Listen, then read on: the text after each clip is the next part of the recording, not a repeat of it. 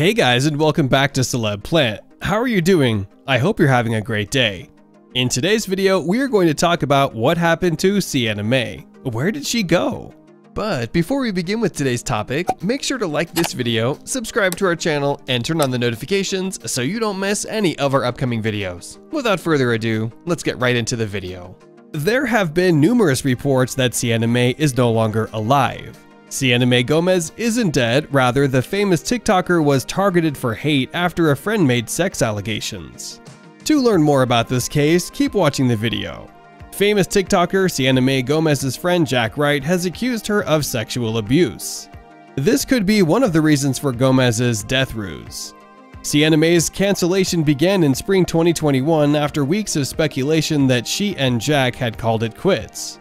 Then, on Twitter, Mason Rizzo, one of Jack's close friends, revealed more details about what happened between them. Despite the fact that Jack had established clear boundaries in their relationship, Mason accused Sienna of sexually assaulting him on multiple occasions. In a tweet that has since been deleted, Mason also claimed that Sienna told Jack to kill himself and that she had a history of being verbally abusive and putting her own development ahead of everything else. Mason explained in a follow-up tweet that he deleted his original tweet after all parties involved in the situation agreed that dealing with the situation offline would be the best option. In a now deleted Instagram post at the time, Sienna responded to the allegations, claiming that they were false. She said, Friends fight and relationships sometimes change, but allegations of a criminal act are not to be thrown around loosely. She then added, Making an untrue sexual assault claim is never okay. I'm beyond saddened by this situation. In order for all of us to move forward, I will be taking this offline with Jack. Thank you to all who have reached out with love and concern. Jack uploaded a YouTube video titled What Sienna Mae Did to Me on January 20th, 2022. He discusses how he agrees with everything his friend Mason Rizzo said in his now deleted tweet about Sienna Mae sexually assaulting Jack multiple times after he had established boundaries and telling Jack to commit suicide. According to Jack, Mason saw a lot of it. Later, Jack admits that much of what Sienna Mae said about him in her own video hurt a lot, and that much of what she said about him was false. When he talks about how a TikTok creator explained that he went through was a trauma, he starts crying in the video. Jack also admits that he met Sienna Mae through a mutual friend with whom she was dating at the time, and that she betrayed him.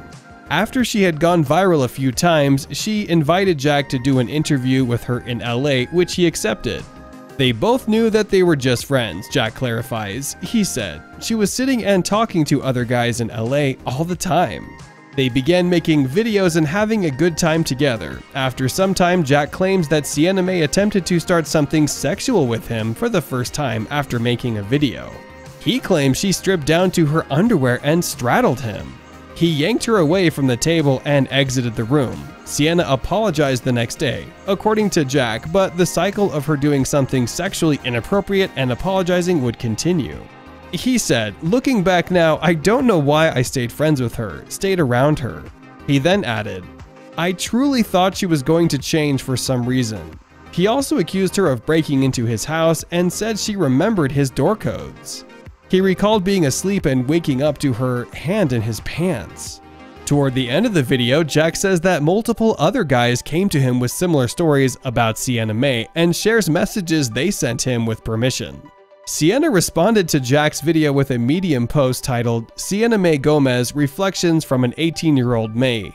On January 23, 2022, she discusses how turning 18 hasn't gone as planned because of the allegations, how she met Jack and their relationship, and she continues to deny that she assaulted him in any way. She wrote in the article, I've never been so scared in my life. Despite her absence from social media, Sienna has been very active on her website since January. Her most recent post from March 31st discusses her Muse magazine feature. In it, the social media influence writes, One thing no one really talks about when you're getting into the entertainment business is how intimidating it can be. Especially as a young woman, to walk onto a set with people who are two or three times your age and have been working for a long time. She continued, It's such a good feeling when you get the vibe that all of the pros you are working with take the time to lend some of their genius which is exactly what happened on the set today. Everyone was incredibly gifted in their own right, and the vibe of the shoot was so fun. We were blasting Ariana Grande, drinking Starbucks, and getting adventurous with my looks for the day. That's it for today. If you guys enjoyed the video, make sure to hit the like button.